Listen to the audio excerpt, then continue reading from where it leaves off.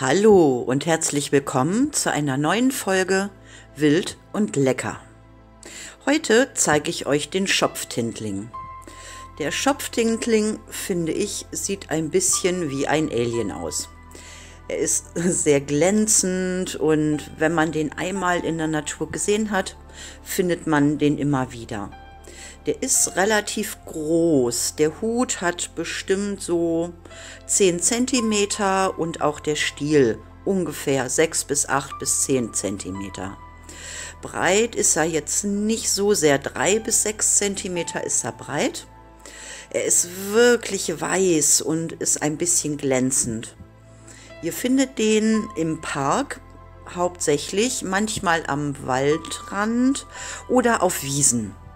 Der steht ganz gerne in Gruppen. Diesmal habe ich leider nur einen alleine gefunden. Ähm, der ist richtig lecker.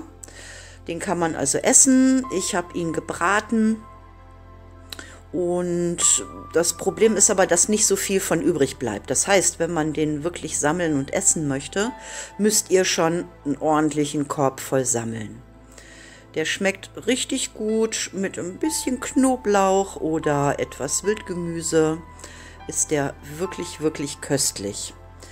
Mm, wenn der jung ist, ist er wirklich köstlich. Ansonsten wird der später von unten her fängt er an auszureifen. Das heißt, wenn der seine Sporen bildet, dann öffnet er sich unten und sieht eher aus wie ein nach unten gesunkener Regenschirm und bildet so eine schwärzliche, tintige Farbe. Der fasert dann auch aus.